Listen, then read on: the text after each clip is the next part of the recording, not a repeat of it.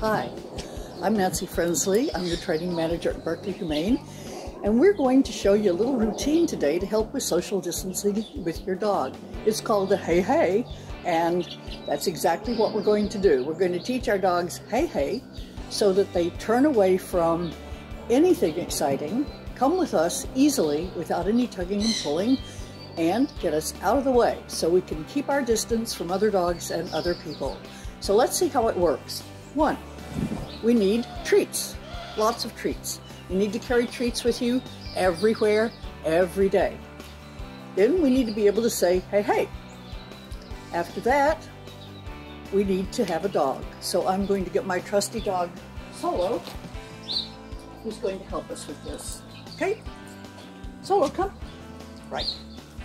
So what I want to do with Solo is I want to get her to turn to me every single time she hears, hey, hey, no matter what's going on in front of her. So I'm going to teach that by going, hey, hey, turn away and give her a treat. Okay? Have those treats really handy on the same side my dog is. Here we go again. Hey, hey, we turn, we go away.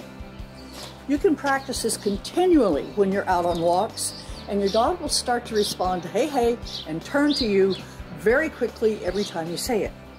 Okay?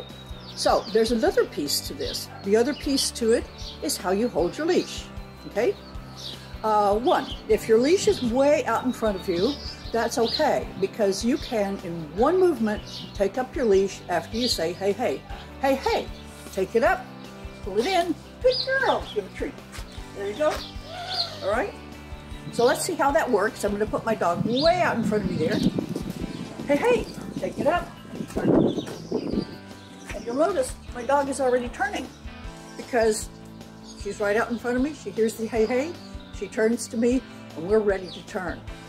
Uh, if you hold your leash this way, all you have to do is, hey, hey, pull the two pieces together, turn away, and bring your dog with you. You can turn away in either direction, no matter where your dog is. Your hands are low, you take up your leash, you move, and you give a treat. First, try this a lot, you know, practice daily, many, many, many repetitions when you're out on walks. Your dog will have fun doing it. It's a game for them. So try it. It's called the Hey Hey, and it'll get your dog to turn with you anytime you want. Practice every day, get a smooth turn with no tugging, and thanks for watching. Stay in touch. There'll be more fun things to do with your dog.